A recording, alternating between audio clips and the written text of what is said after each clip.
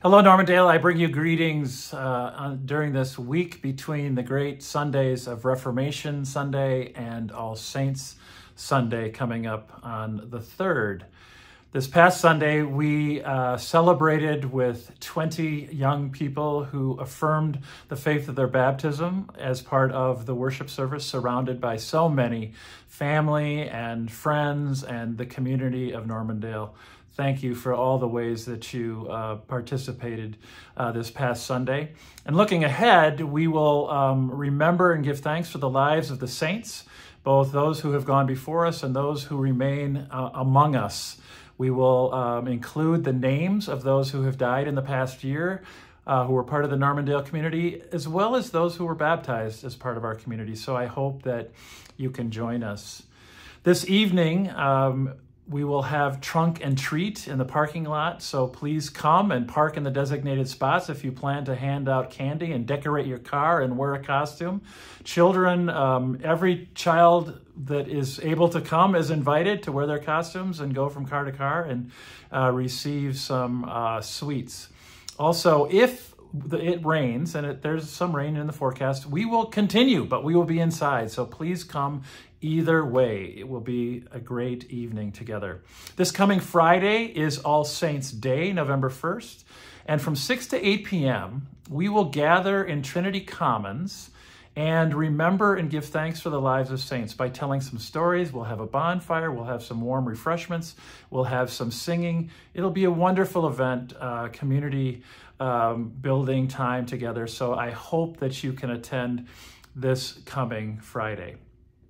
Also, the National Lutheran Choir will hold a concert here at Normandale on Sunday, November 3rd at 4 p.m. For ticket information, please go to the National Lutheran Choir website. Also, we will be beginning our financial stewardship pledge dinners this coming Sunday, November 3rd. If you haven't signed up, there's still time to do so. We will have dinners on the 3rd, 10th and 17th, those uh, Sunday evenings. So if you haven't had a chance to uh, sign up, please do so. There's a form um, on the website that you can uh, use, as well as on this accompanying email, there's information too. So plenty of space left, especially on the 10th and 17th, but we have a great, great um, response for these uh, dinners, which are a bit of a recent tradition here at, at Normandale. As our faith community seeks to live into peace this fall, we will hold a uh, evening prayers for peace service on a Wednesday, uh, November 6th at 6:30 p.m. in the sanctuary. We've been holding prayers for peace every Tuesday morning at 9 a.m. in the chapel, and you are also invited to come to those services. We predominantly have staff, but other people come and go, and it's a wonderful short 20-minute service uh, every week at uh, 9 a.m. in the chapel. Also, uh, we will be receiving new members into the Normandale community on Sunday, November 10th. And it's an exciting time in the life of our community. There's so much happening during this month. If you have any questions, please reach out.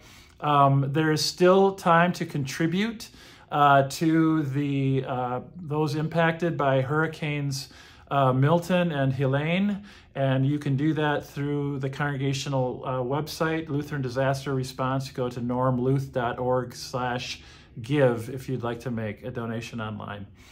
Thank you for all the ways that you participate in the life of our community together. It is a good time to be the church. Blessings to you on your week.